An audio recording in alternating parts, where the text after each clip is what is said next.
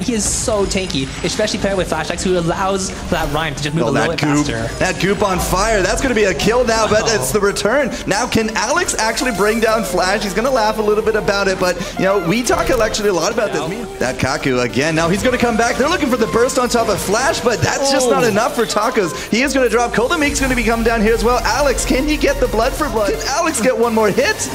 He will. He gets, uh, you know, CullTheMeek is going to have to deal with that. Mikshi's a little bit too far forward here on the wrong side of the map. He is going to get this two-man aggression. The fortified health from that passive is keeping him alive, allowing anything down. And uh, we still have that Valkyrie ready to go. Could be a good opportunity here for Tacos. Doesn't even need it. He's going to get. Just going to get pushed up again. Death from above. They're level six. That's the stun, and the big dog is going to pay for it. Alex still cannot bring down Flash, and I Oh. think he's going to pay for it here as well. That was the Valkyrie. One more shot. The weapon power Skye from Cole is enough to bring invade of TSM. We did actually have Ardan uh, just kind of Oh. scout trooping way far away. Uh, he damage and poke. One tower dive already. Could they go for this next one? As Flash, he's actually going to be a big target. Tacos is now looking for him. Here goes the gauntlet there as Oh. well, but the Valkyrie just turns it around. Tacos is out. The Ardan is down, and now CullTheMeek, he's going right behind, looking for the big dog. He picks it up, and that is an eight. Putting another kill on the board. Yeah, it is really dangerous for uh, Rage Pingers to continue chasing because CullTheMeek is incredibly powerful.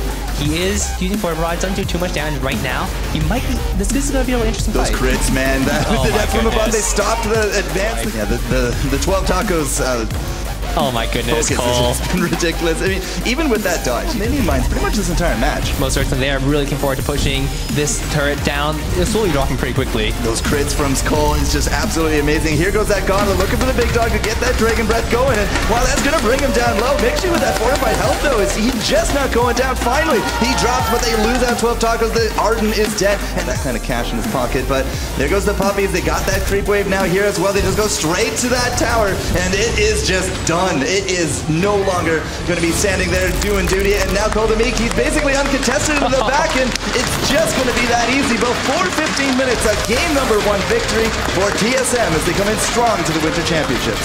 And wow, TSM just a crushing victory right off the start. I know Mixie, he has some good AoE. Flash X, however, is going to go a little bit too deep. Takes a tower shot for his trouble as oh. well. But that's going to be a stun now. CullTheMeek is going to be dropping low, and the, it is enough for this one down.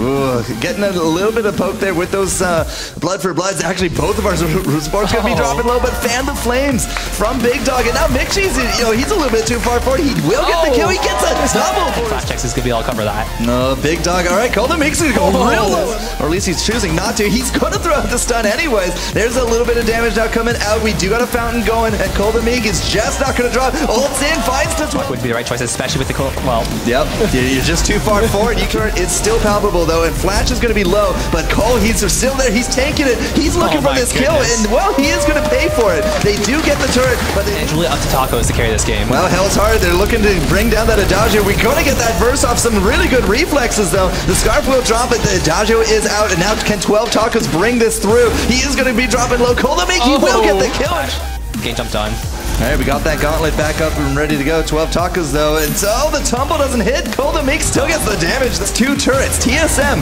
could take a four-turret lead right here and take the game. If they can really sweep this, that's another turret gone. 12 Tacos goes in and gets immediately evaporated. Now Alex is going to be taking the brunt of this one. He does get the Vanguard, the big dog, a far back lay. He's just not part of these fights. The turrets, that's four for this Kraken. And this is going to be TSM taking a 2-0 over the surprise team, the eighth seed of the RagePingers. The Dark Horse, unfortunately, not able to take a game from now the reigning world champions. Yeah, TSM just showing such a dominant performance in these first two games that they have played at the live championships. They just kill Ardan for fun. Eight out one for one, but Fuji very low, and the one oh! shot will actually hit.